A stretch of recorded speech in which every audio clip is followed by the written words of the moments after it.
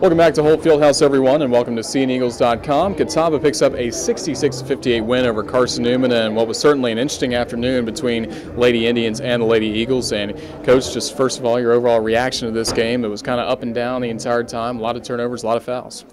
Yeah, and it was a it was a really important conference game. Certainly being at home, and, and we knew it was going to be a challenge uh, in a battle against Catawba, and, and they came ready to play. And uh, you know, I got to give credit credit to them because I think they kind of took it to us, especially early, and then in the second half. And I don't know how well we responded, but half of, half of the issue that I had tonight, I mean, certainly part of it was how the game was called, but the other part, and I told the team this, was I was so frustrated with our own performance. Uh, we just don't take care of the basketball. We thought all over the play, you know, we just throw it around everywhere you know, it's just we make bad decisions, and so uh, I was really frustrated with our performance. And I know we only lost by eight, and we, we got it back to 47-47. But uh, overall, I don't think we played very well at all. And you picked up two technical fouls in the second half, ejected for the first time this season. Just what were you seeing? What happened with those fouls? Well, like I said, part of it was Part of it was officiating. You know, I felt like we got the little touch foul on JJ. It had nothing to do with the play. It didn't affect the play whatsoever. She just she did put two hands up, but it's you know, are you going to call everything, or are you you going to let that one go? And uh, they buzzed us for a lot tonight.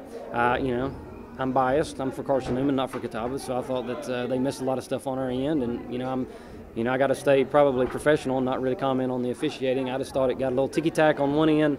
And on our end, you know, I think the one technical I got, uh, you know, I thought Lacey went in there and, and, and she missed a shot, but then she's trying to get the rebound back. And if I see her arms with a bunch of arms slapping at it, you know, I think it's a foul. So, um, you know, it was unfortunate.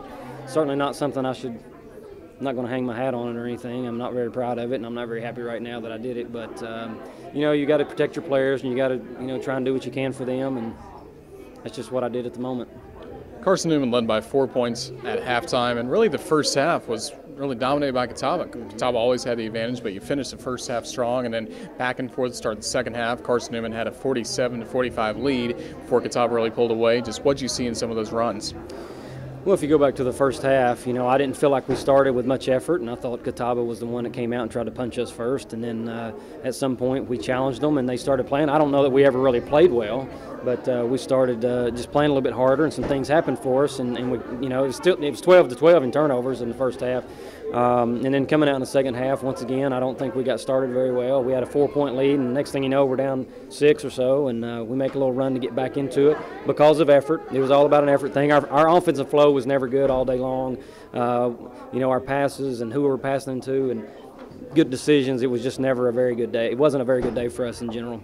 All right, next up, Carson Newman, two games on the road now, going to North Carolina. You got Brevard on Wednesday and Wingate on Saturday. Well, you know, giving up this home game, it's uh, now we got we've got to win basically two more on the road than, than what we had expected to try and get. And uh, Brevard's going to be a hard place to play. It always is. And then, of course, going to Wingate. You know, I don't know how the scores were today, and I don't know where we're going to end up in the rankings after today. But uh, you know, we got to go try and get two more wins next week. Uh, giving up a home game really hurts, and you know, all I can do is go to work on Monday and, and try and get better and, and improve on some of the issues that we have. Well, Coach Mincey, thank you for joining us. We'll see you on Wednesday in Brevard. All right, thank you. That was Carson Newman head coach Mike Mincey as Catawba picks up a 66 58 win over Carson Newman. Thank you for visiting CNEagles.com.